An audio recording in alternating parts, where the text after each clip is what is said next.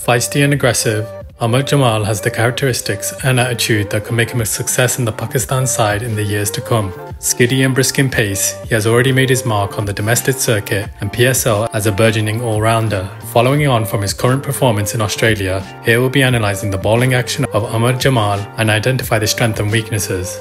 Jamal has an energetic run up towards the crease, utilising short, smooth strides towards the target. In his run up, he keeps his arms close to the body to maximise the speed when approaching the crease.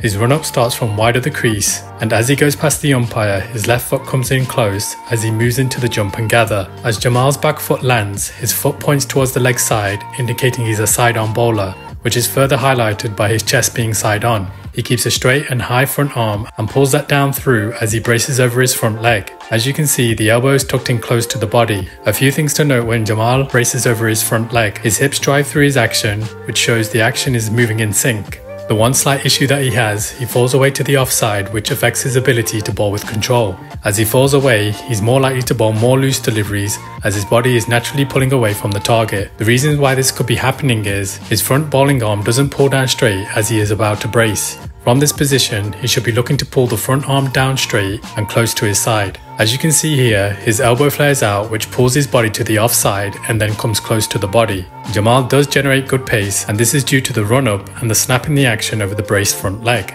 Due to his side on action, Jamal has the ability to swing the ball both ways. The straight bowling arm and release point enables him to have a strong wrist position behind the ball. As you can see, he keeps the seam position upright which maximizes the ability to extract seam movement and swing.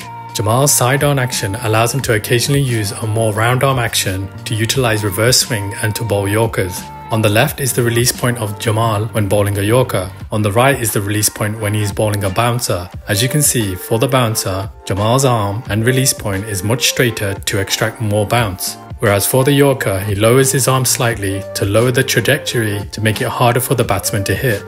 Aamer Jamal is naturally aggressive and is always looking to take the wicket regardless if he's going for runs. His attitude and willingness to bowl in crunch moments makes him a must in the Pakistani bowling lineup.